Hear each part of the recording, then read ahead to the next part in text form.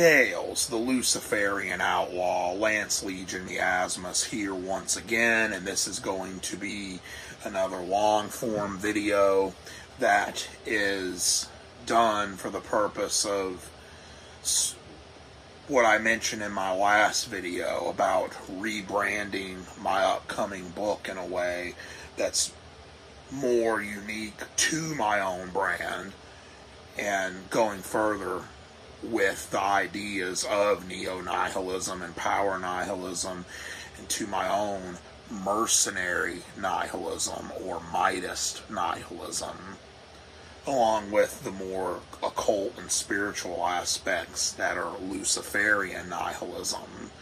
A lot of people, well, those that have read, have told me that they think that my text is very spiritual in an occult way and you know, I would agree with that. It is. It is a very much an occult text. It's like the arcane secrets and ideas that are discoverable only to those who are able to understand them. So that would definitely be the case. And like I said, my book is being rebranded. The ebook that I sent out to fans, a few fans that asked and all that, that is nowhere near the final text. That is a prototype. The final version will not be an ebook. It will be a hard copy book, and it will be quite a bit different than what you have now. Uh, the same ideas uh, will be discussed and all that, but rearranged slightly some things have been reworded, rearranged, and expanded. A new chapter has been added. So this will be a long one. It is 4 a.m. where I'm at right now, but I'm fucking wide awake. And we're gonna pop a brew here. And I am going to give another reading and another speech. It's going to be similar to the ones I've done in the past. In fact, some of it is straight up copy and pasted from my previous speeches. But it's condensed down into one thing. My previous speech on mercenary nihilism mixed with one of my last, more recent videos on Mightist nihilism into mercenary Mightist nihilism, but repetition is what gets things done. I don't mind repeating myself, and even if this video will be repetitive, that's a good thing in my view because it's repetition, repeating in the mind that eventually convinces the mind. So none of this like wannabe Billy badassery of I don't need to repeat myself. Well, guess what? If you don't, I think you're selling yourself short. So, this will be a long video. So, strap in. And like I said, I am reiterating things I've said in the past. I'm acknowledging that, but I'm repeating myself. So, I mean, it's not like, you know, so all this is just, you know, whatever. You know what I'm saying?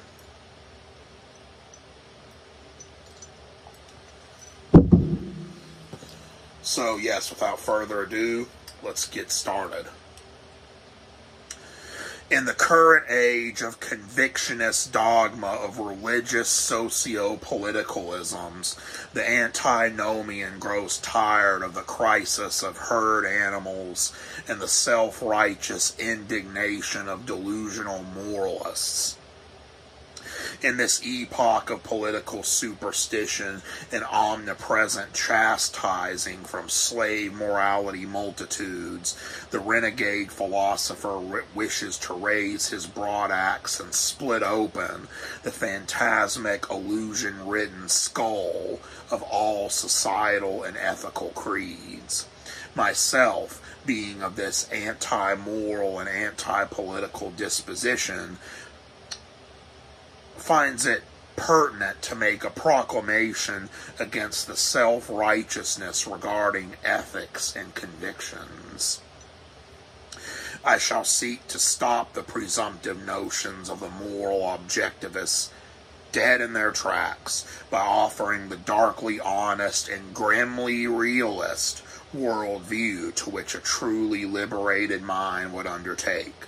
Such a morbid Weltanschauung is not humanism, liberalism, conservatism, socialism, fascism, communism, nor libertarianism as such.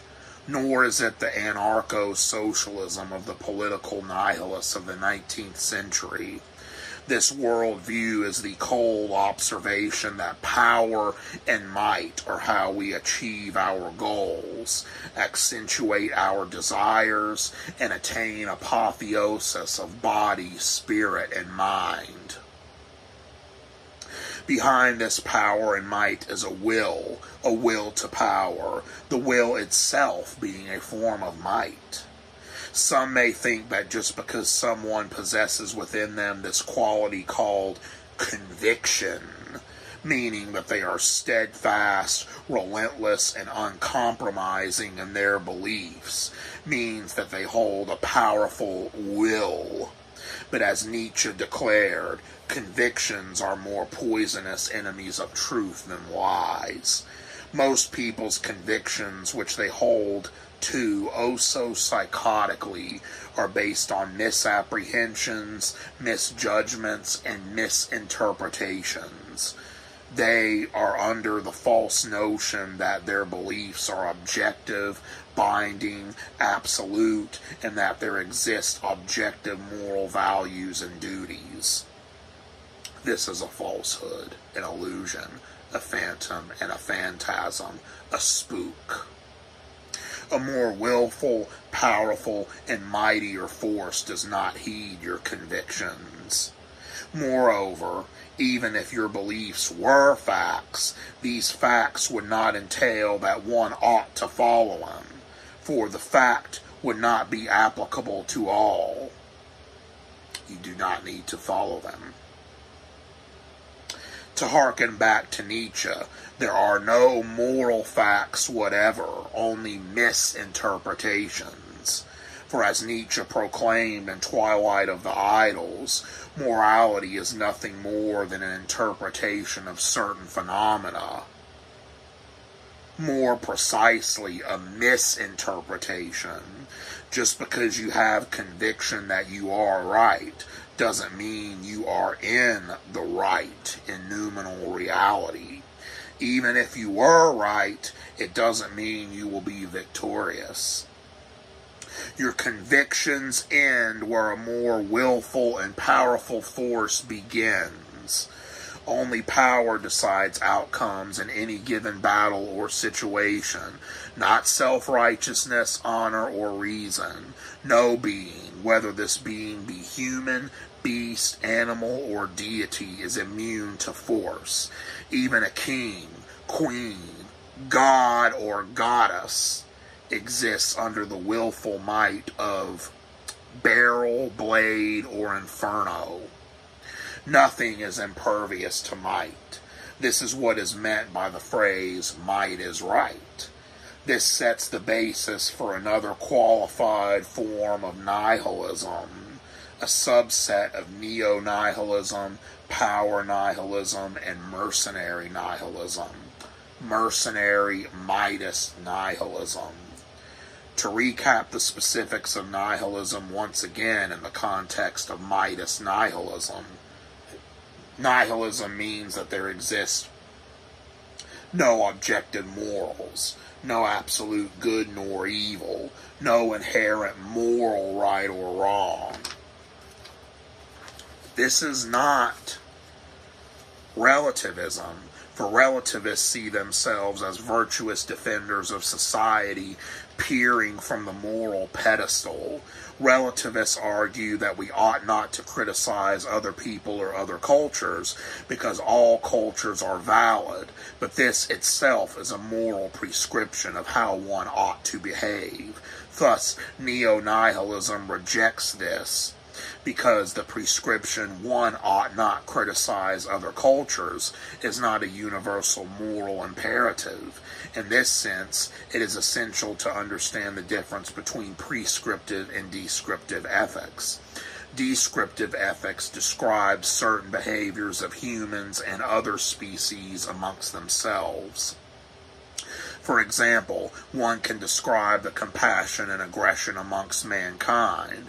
When one is describing a behavior, this does not logically entail that one prescribes, condemns, or condones that behavior one would merely be stating facts and describing what is, not what ought or ought not be.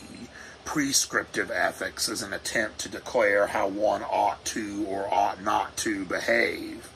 Prescriptive ethics prescribes certain behaviors that others ought to engage in, such as one ought to do this or that the Scottish philosopher David Hume observed that it is logically impossible to derive prescriptive ethics from descriptive ethics. It is logically impossible to derive universal moral prescriptions from descriptive facts. It is logically impossible to derive an ought prescription from an is description. This is known as Hume's guillotine one cannot derive a universal moral value from a descriptive fact. It may be true that we have evolved the characteristic of compassion, but from this fact we cannot derive the universal moral prescription that one ought to be compassionate. Such a transgression of logic is as invalid as asserting that one ought to be cold hearted from the fact that we have evolved cold heartedness. Therefore, morality is not based on reason but on sentiment, which is conditioned by both culture and biology.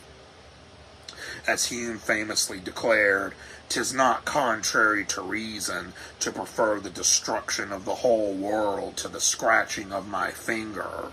From a mercenary nihilist worldview, it is not contrary to reason, it's just highly unusual given the evolution of the human species.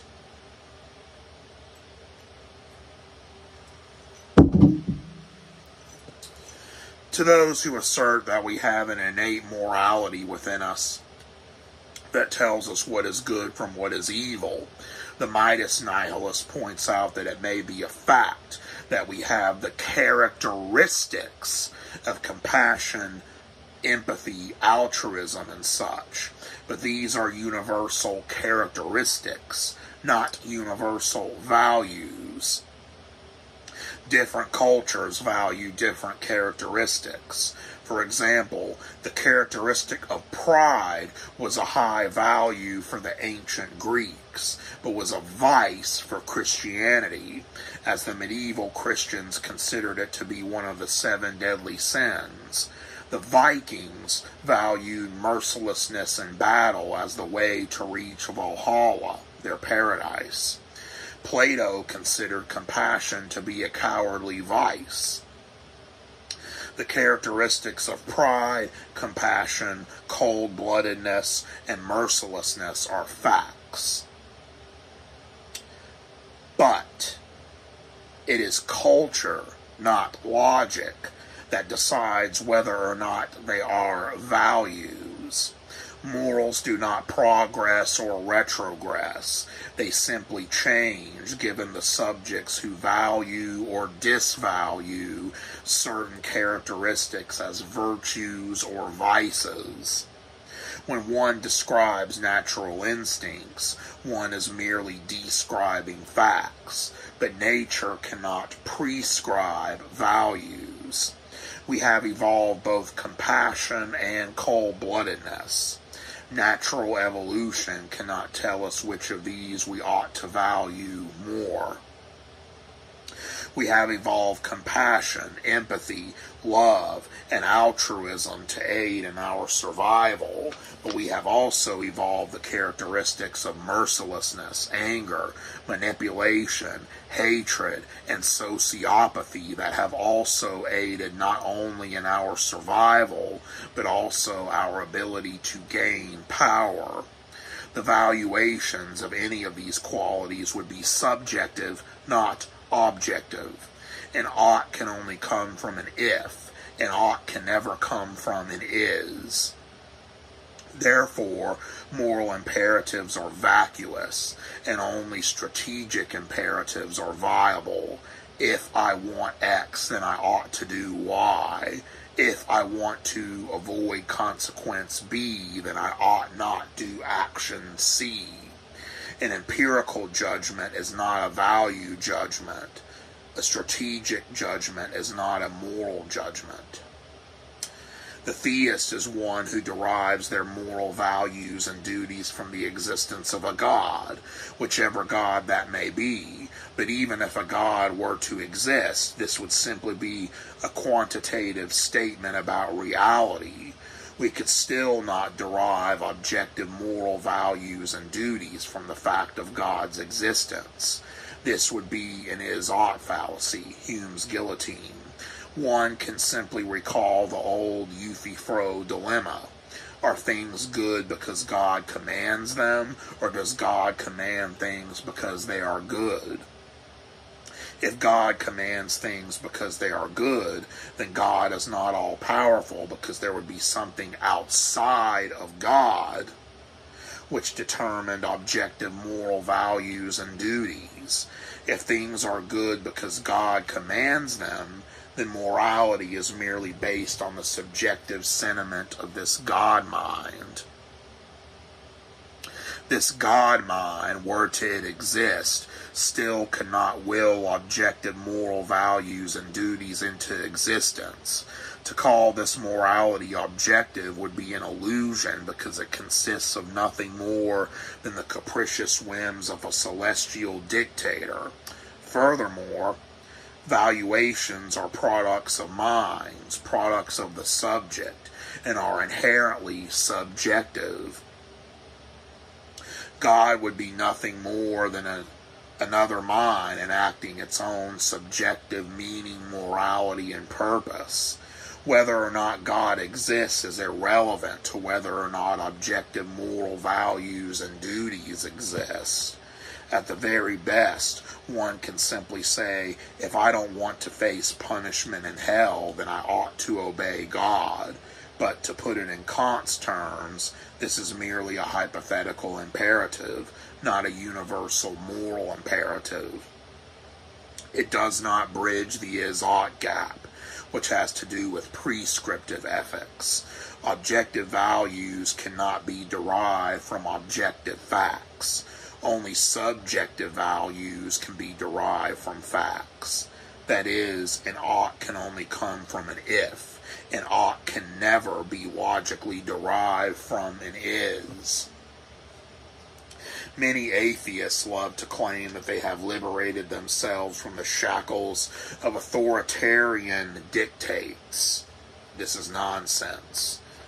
However, they have only done so in terms of religion, for they still cling to a belief, a blind faith, and objective morality. This is just as irrational as having faith in a God or a religion. For them, this belief in objective morality often leads to strict adherence to political ideologies, such as communism and socialism, where subjective valuations as equality, conformity, and doing things for, for the greater good are presupposed as universal values. But this is circular reasoning, as it presupposes equality and compassion as values from which further values are derived like the religious zealots before them, the dogmatic proponents of these ideologies use authoritarian means to enforce their valuations on others. All politics is nothing more than a person or group using the violence of the state or the collective to force their subjective valuations onto others. As Peter Sjöstedt-H. has said, we are not above the violence of the brutes because we know morality. Rather, we are above the brutes because we use the violence that is morality. It is indeed true that the church is the idol of the priestly parasite, and the state collective herd morality, herd mentality, herd slave morals, all these types of things, indeed, you know, are considered a greater good. These are the morally dogmatic ideals of the political parasite.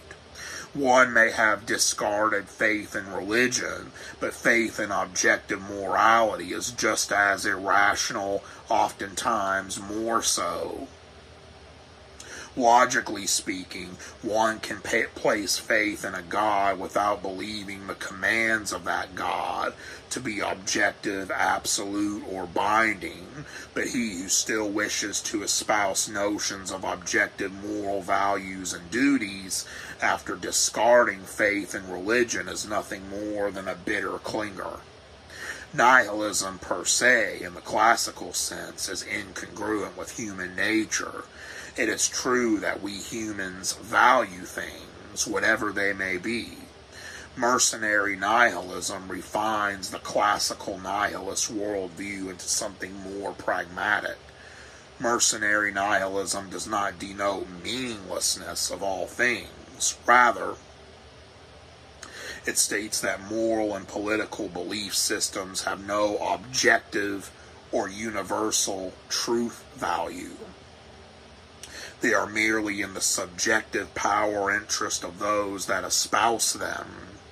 For as Redbeard once observed, the infamous Ragnar Redbeard, belief is a war stratagem, an instrument of deceit, a convenient falsification formula, a beautiful hoodwink.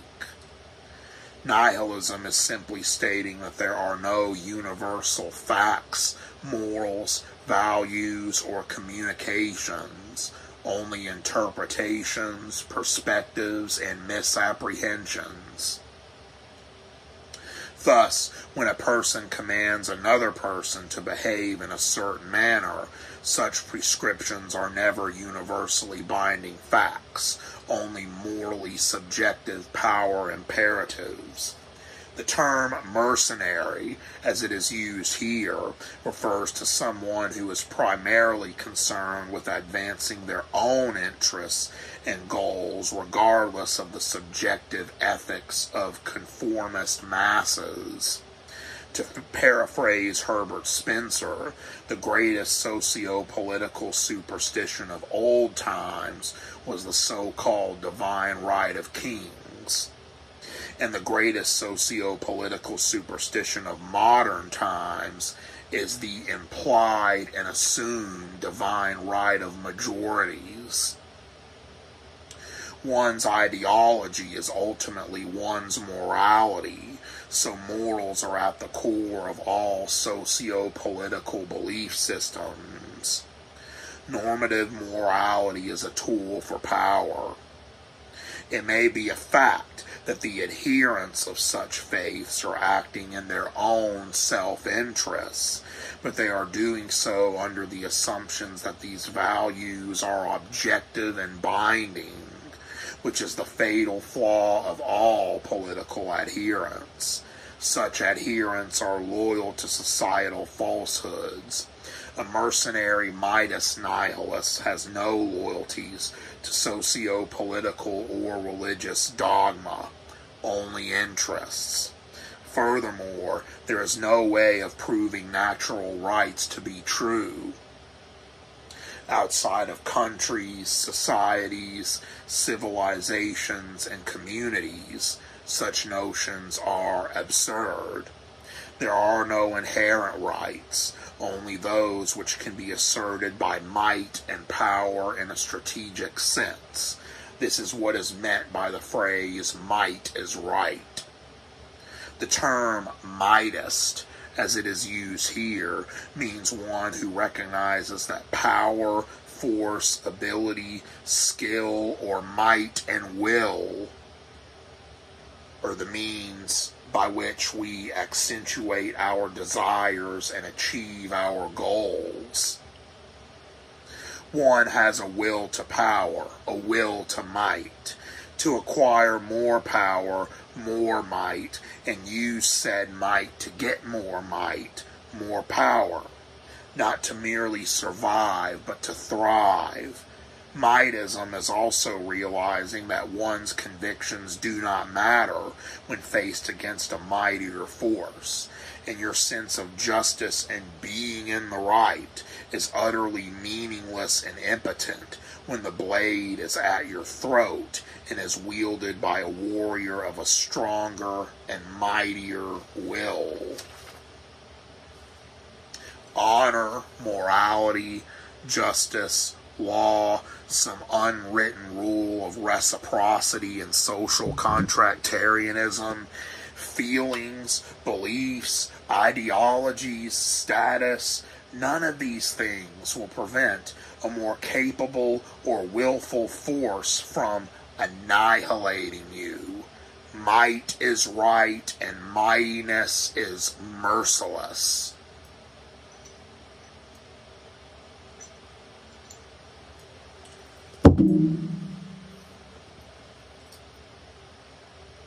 Ideological adherents like to believe that they are in the right, that they are in control, that their morality is the universally correct one, that they are always on the morally right side of history, but sometimes this notion is challenged, and as a result, people are reduced to incoherent hysterics.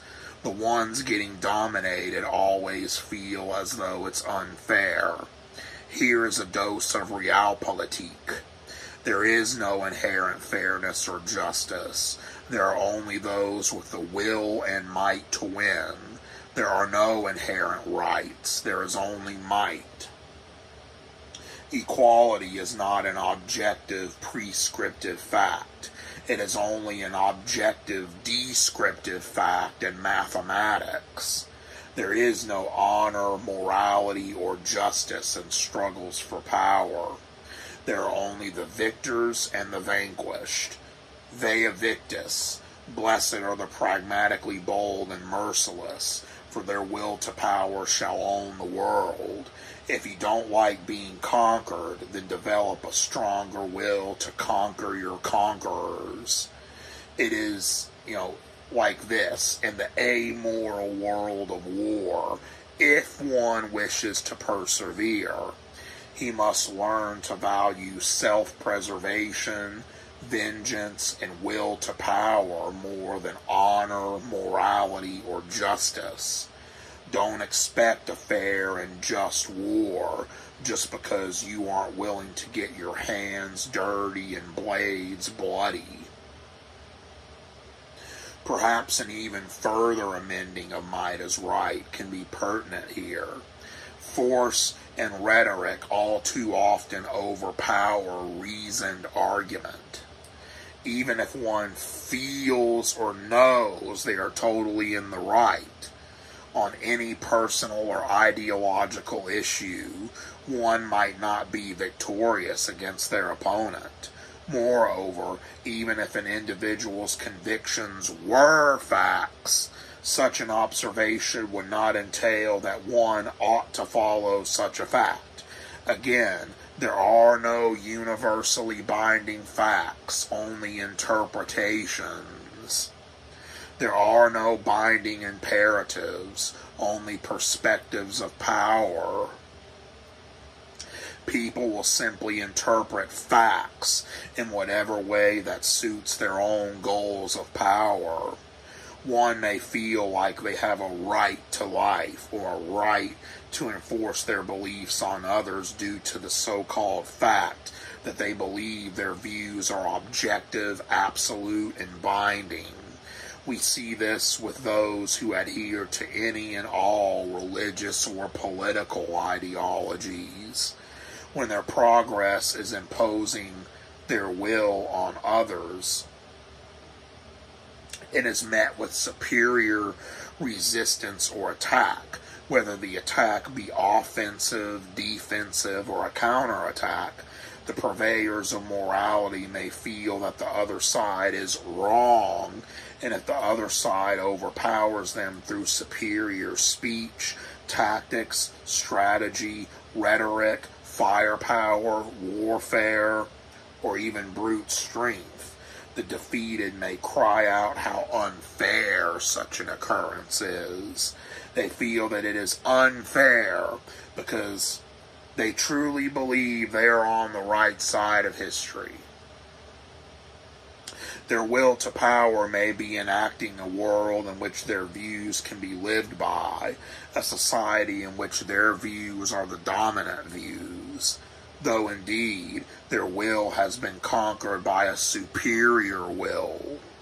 For life is indeed will to power, but mightier will shall dominate others, regardless and irrespective of the convictions of the moralist.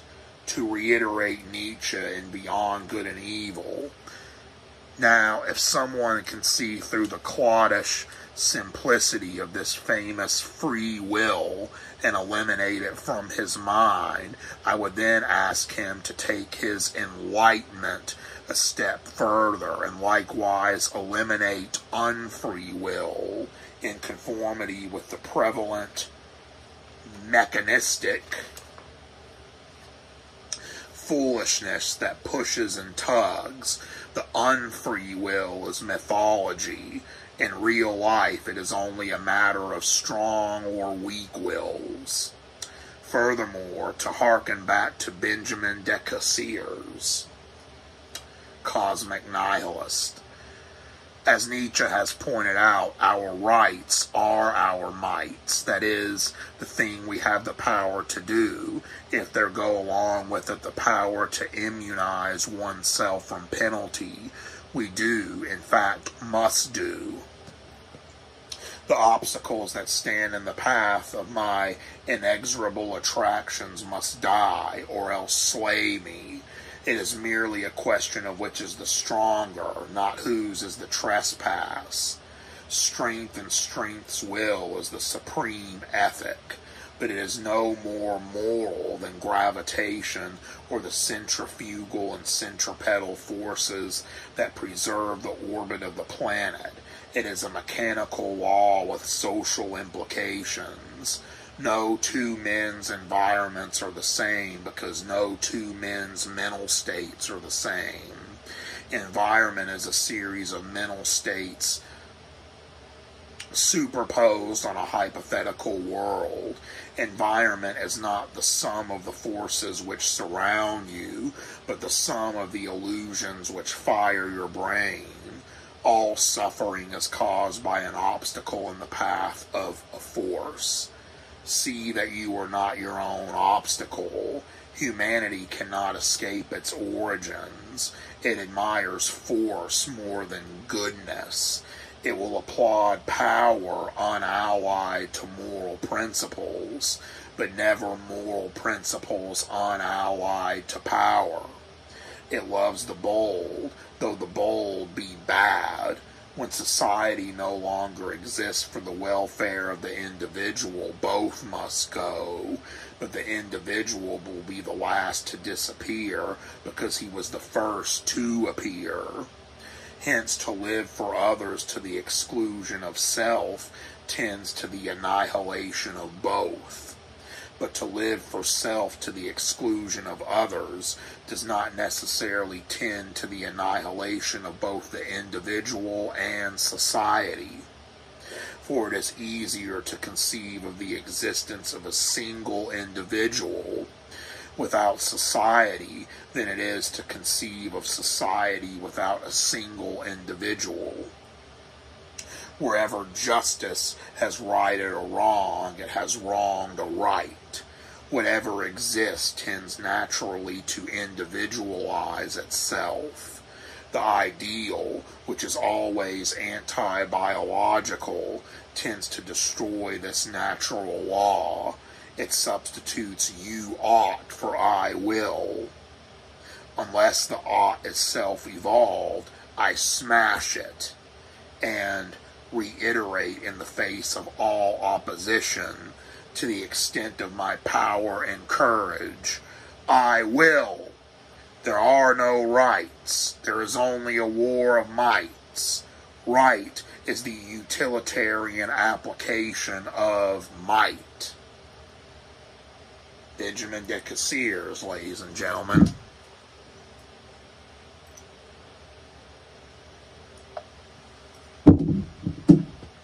Finally,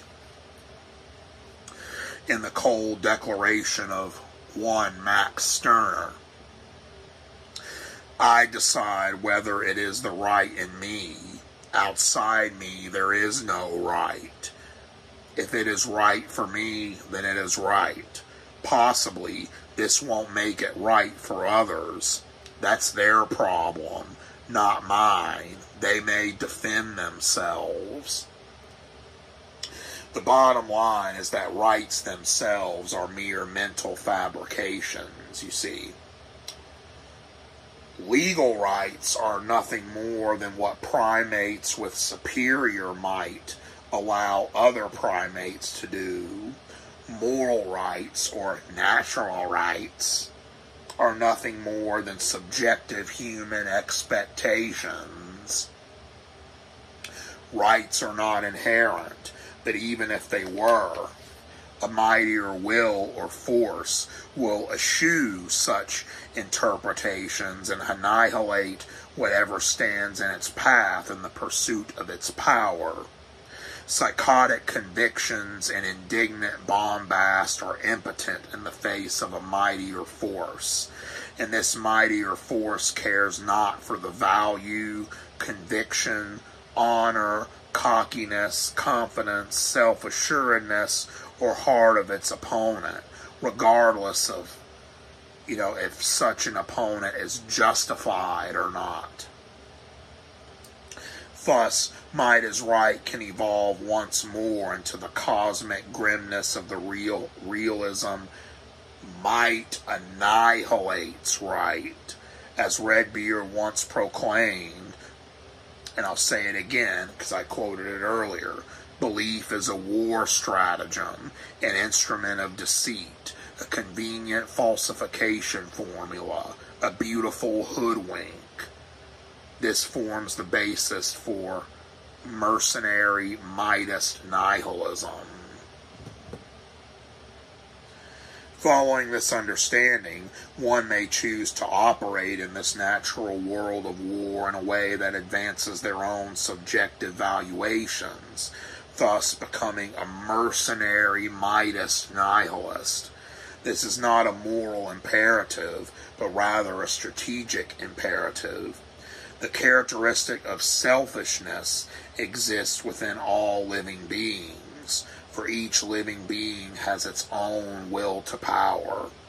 Self preservation may be the highest law, but this also encompasses the desire to advance, grow, gain and maintain power. If one wishes to aid others, this is itself a selfish act, for watching those whom one values advance is a form of self satisfaction. Likewise, one can say, You wanting me to abnegate and sacrifice myself for the betterment of you and yours is no less selfish than me wanting to preserve and advance my own values. Societal pressures and ramblings of a greater good are mere phantoms of the mind. No one is objectively morally bound to obey anyone or anything.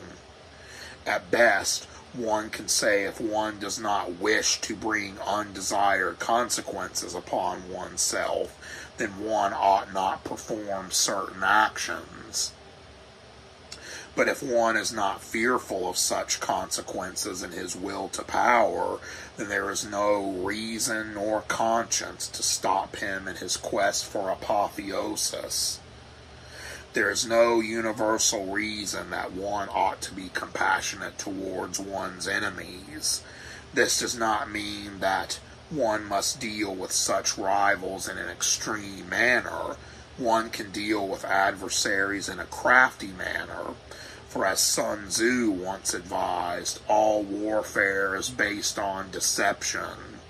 Adherents of certain ideological persuasions seem to look to history to suggest that since some people have endured oppression in past times, that some people in the modern world should suffer social consequences in the name of justice even if the historical oppression were a fact, it would not entail that one ought to derive a universal value of justice from this fact. Facts do not lead to moral values. As morality is subjective, there can be no justice in an objective sense. There is only personal vengeance vengeance is based on one's own subjective perceptions and values.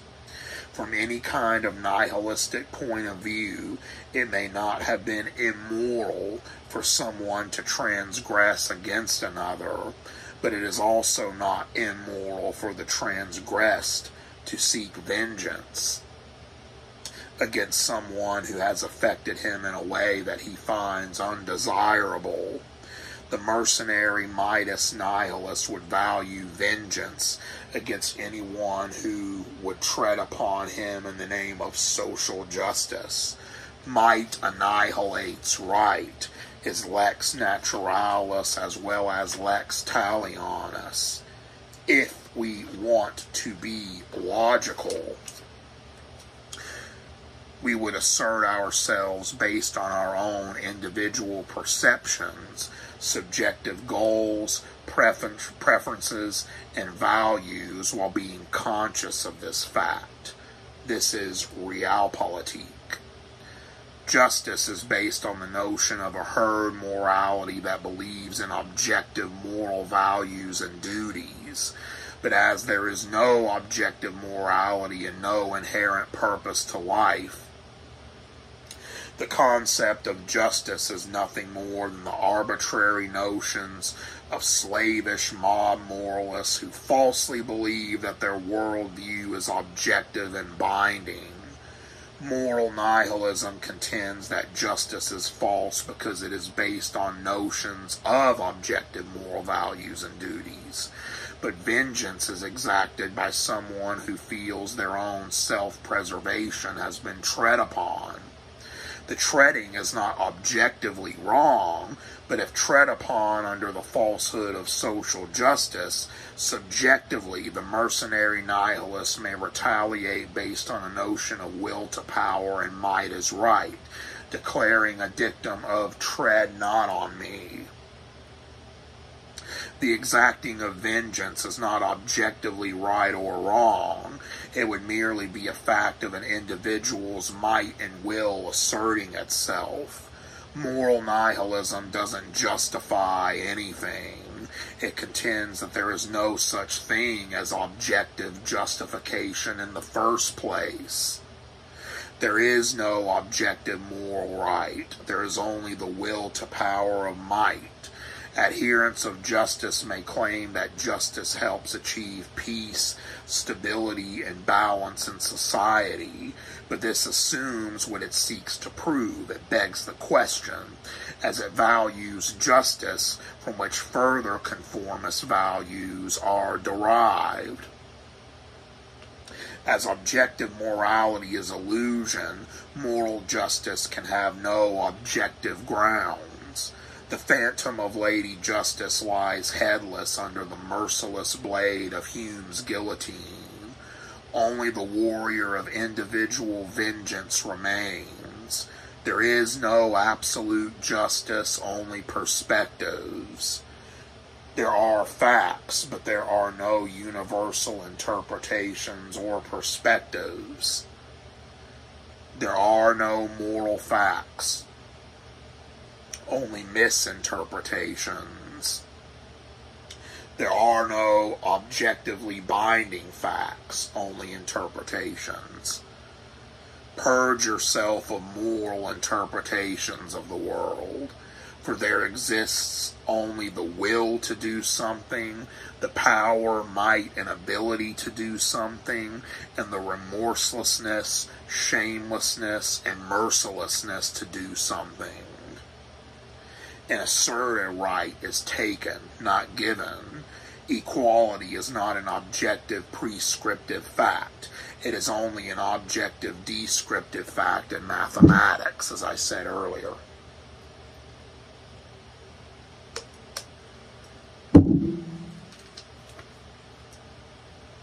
For as Nietzsche pointed out, true equality is never attained because as soon as crusaders of equality believe they achieve the phantom of equality, they will immediately seek to overpower others.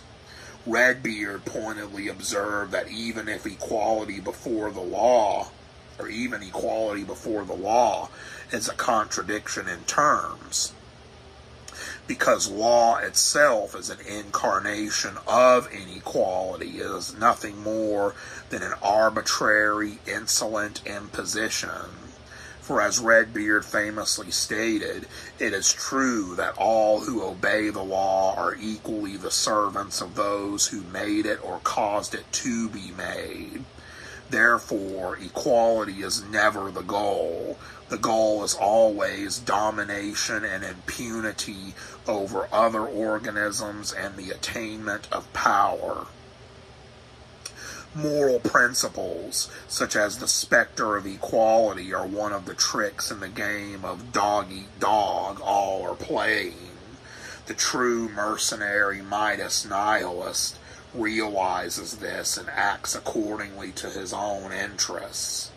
The mercenary Mightist nihilist is driven by a will to power to enact his own personal ends, whatever they may be. What separates the mercenary Mightist nihilist from socio political herd morality is that he is not under a misapprehension of objective morals. He will simply do what benefits himself and who or what he subjectively values, irrespective and regardless of the moral dogma of the masses. He has no fear of what the world will say or how he will be judged by the morals of the multitude, for objective morality is an illusion and like the politics and religions of which it permeates, is nothing more than a means to control others. Having this knowledge, he may use sinister means to achieve his ends if need be. It has no loyalty to any socio political ideology, creed, or system, only what benefits his own values. He understands that the best defense against the treacherous is treachery. He can value loyalty, but only when it is reciprocated in a beneficial way. Tactically, he does not value giving free speech to those who would not reciprocate such a courtesy. His views of the Constitution are reminiscent of Lysander Spooner's take. But whether the Constitution really be one thing or another, this much is certain that it has either authorized such a government as we have had, or it has been powerless to prevent it.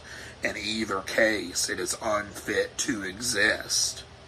That is, one may value the Constitution, but in a world where might is right and might annihilates right and mightiness is merciless, one cannot appeal to it by using its rhetoric to defeat an enemy who does not value its philosophical underpinnings.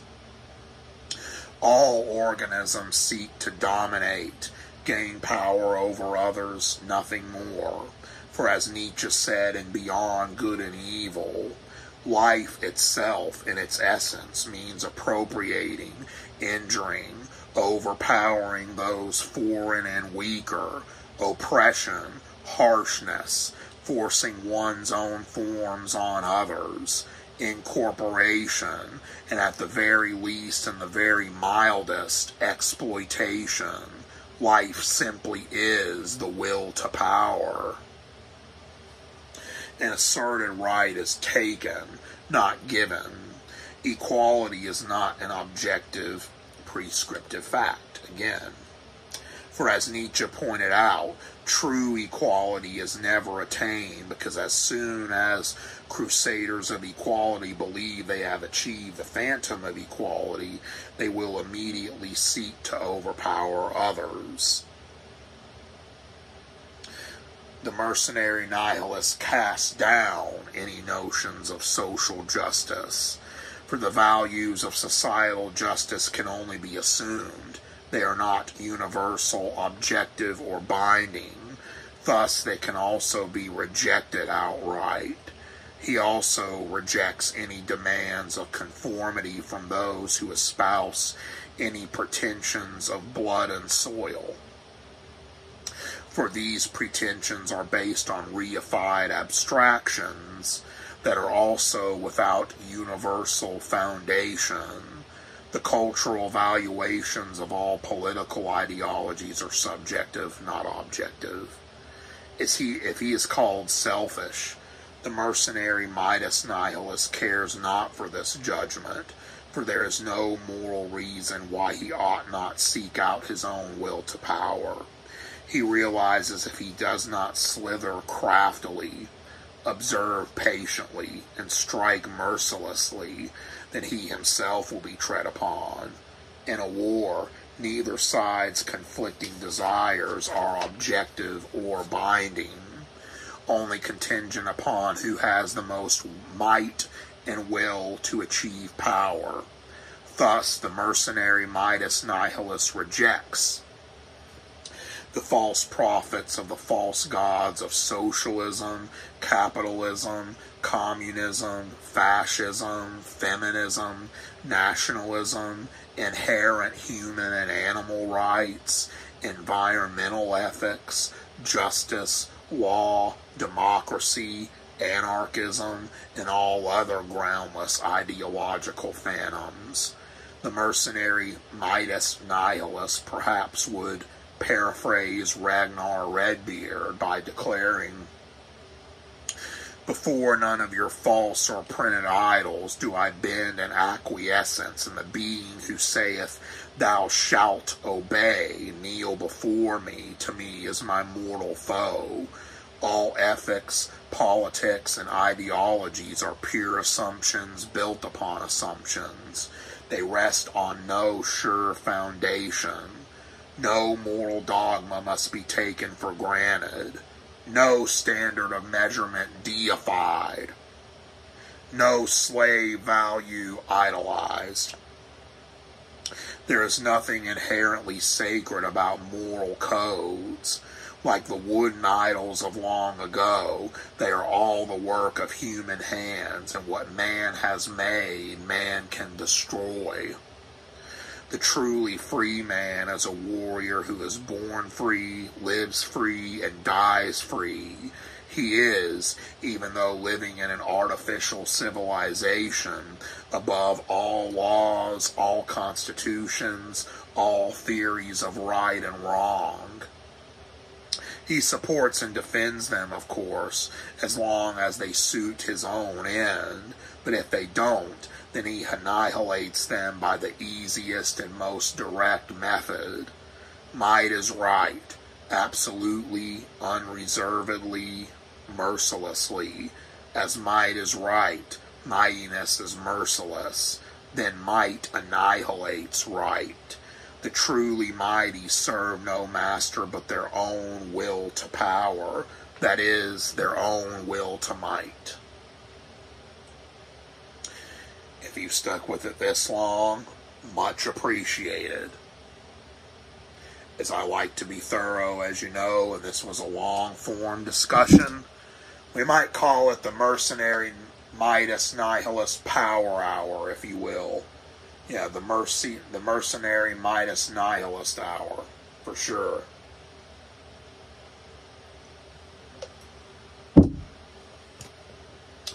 As always, thanks for watching and listening.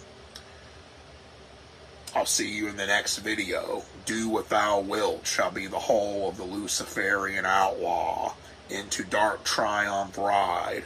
Ave.